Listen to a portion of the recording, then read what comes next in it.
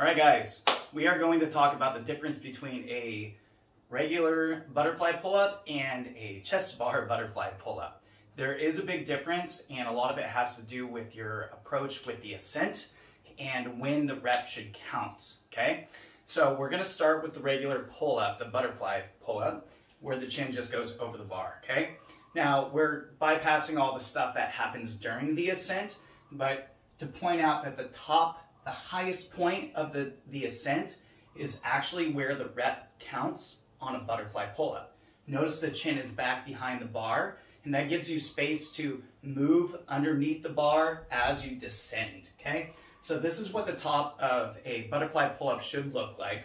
Your chin is higher than the bar, your back, your arms are at about 90 degree angle, and your body is still uh, reclined backward. Okay, the recline backward part is really important because it helps counterbalance you as you drop beneath the bar and set you up for another rep that does not swing forward and backward as we covered in a different video.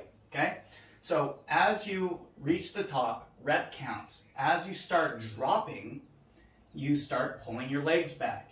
The body stays relatively straight, the knees draw back first, and then as you get to the loading position, you're already in that arched kipping position, ready for the next rep. Some of your body weight is on the front side of the bar, some of your body weight is on the back side of the bar, and then you'll cycle through this, okay? Main thing to point out is that the highest point is where the rep counts. Now, for you guys that have trouble with the butterfly chest to bar, this could be the reason why.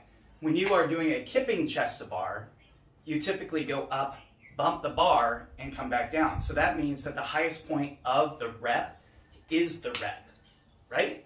So this is where it differs. If you are doing a butterfly chest to bar, the highest point is actually not touching the bar.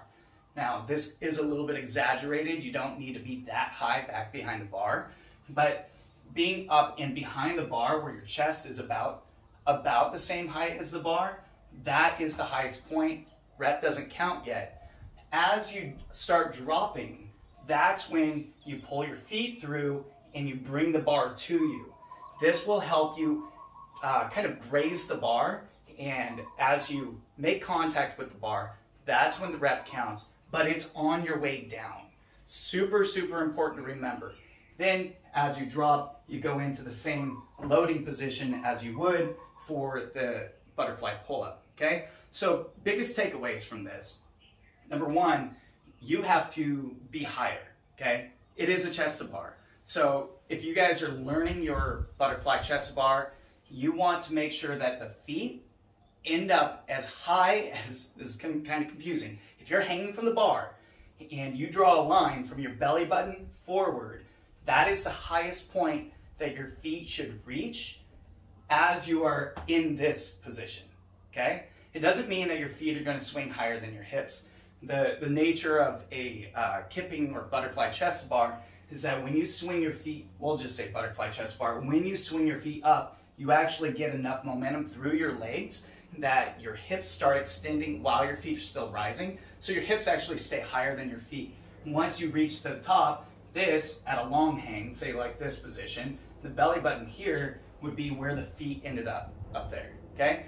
On the uh, butterfly pull-up, your feet only reach the height of your hip. So there's about this much of a height difference in your feet uh, between the butterfly pull-up and the butterfly chest to bar.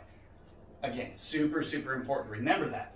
If your feet do not go high enough on this part, you will not be at this reclined angle at the top. If your feet are low, as you pull your chest toward the bar, your feet are actually going to drop because it's you can't continue to raise your feet as you're pulling closer to the bar. Same thing here though. So that angle is super important to hit. That's what balances you out. And if your body is vertical, you can't really pull your legs back behind the bar more because they're already kind of beneath the bar.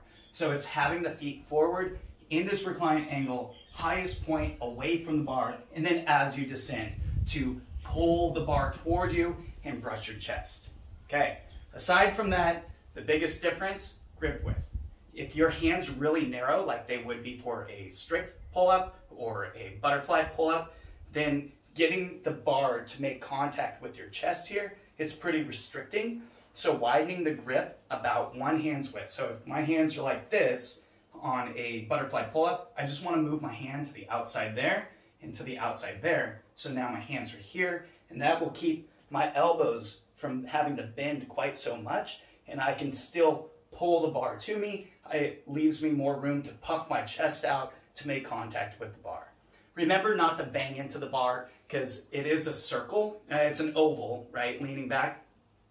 But I call it a capital D when people come up and bang the bar and drop. So we want to avoid that. Just make sure that you're brushing through. If you put chalk on the bar in between your hands, when your chest comes through and you make contact with the bar, it should have like this chalky brush stroke, essentially, from here up. Okay? So um, just to clarify one of the rules. A chest bar could even be here if you needed it to be. That, that might be a little extreme, but anything below the collar, uh, your collarbone, clavicles, is where you need to make contact with the bar. Okay, if you have any more questions, please drop them beneath in the comment section and I will see if I can answer all of your questions. Thank you again for watching, and here it is.